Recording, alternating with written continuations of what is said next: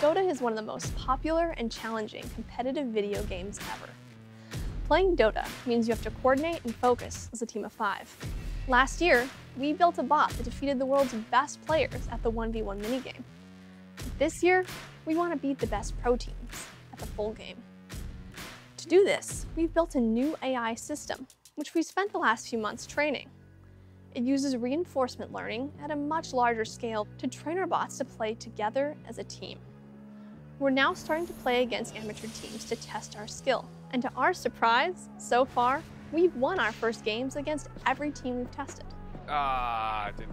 What? You have ult? Yeah, but he's gonna kill you too. Someone else TP bottom. I tried. It got cancelled. Everyone TP. Everyone TP. Everyone TP. Get this guy.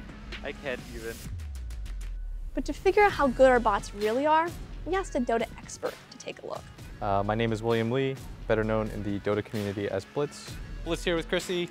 Just going to uh, give a brief explanation of the game for people that don't know about the game. Rules are very simple.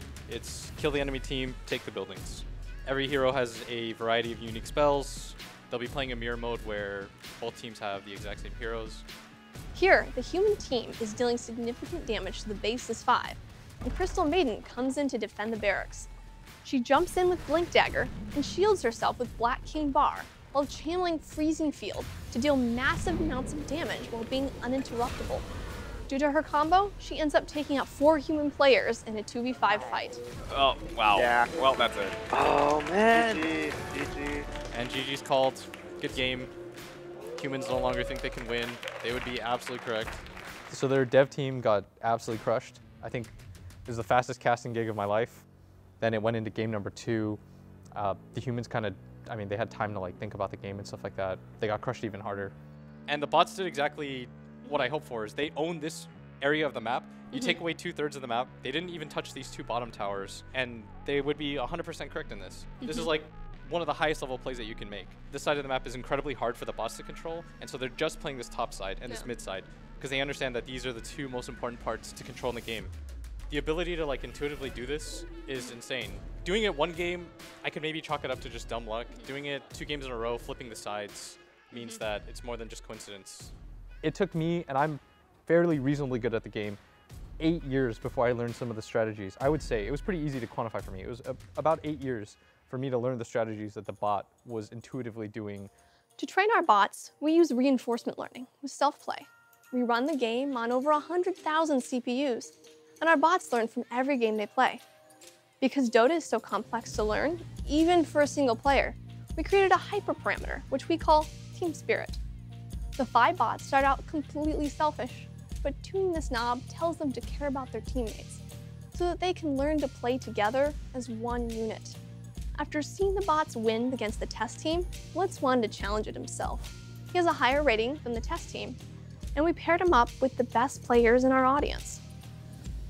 And so we can see Blitz is about to die here. Blitz is definitely dead. Yes. And so now the humans are in trouble. Two of the team members are uh, are dead with 20 seconds remaining, and the bots are about to take their first lane of racks. Another big fight happening here with the bots. Actually winning. The game, at first, started to go to the humans. But eventually, our bot managed to beat this stronger team as well.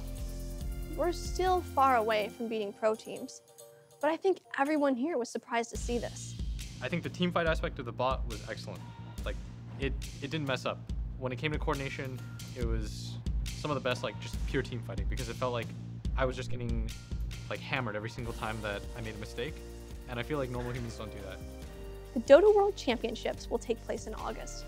While the best players in the world are getting ready to compete, we're also working on the next version of our bot. To see how far we've come, we'll host a live match in July, where we'll play a team of top players. Overall, what we're excited about is that the training method we use is very general.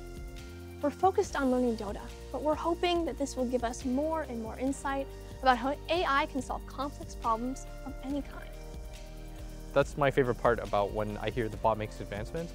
I don't get scared, I get excited because I think this is another thing for me to have to challenge myself to beat. This is something that not a lot of people will be able to do. Uh, like, let's have at it.